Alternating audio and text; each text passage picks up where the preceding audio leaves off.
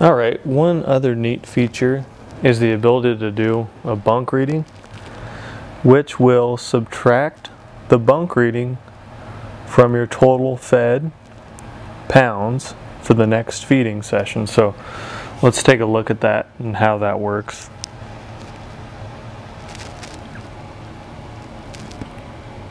So go into pens, then I'll go under my transactions. So let me delete this one out first. And then you can see how I add.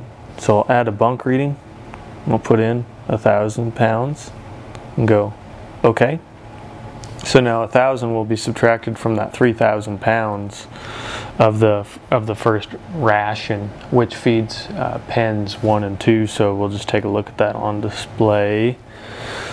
So after I go to the display and uh, go to load, we'll go new batch, and then you'll see total weight 2,000 pounds, accounting for bunk readings of a thousand. So that will subtract. So that's how, and I'll go done. But that's how you would do a bunk reading to have it subtract from the the total, the gross total uh, from the original uh, amount.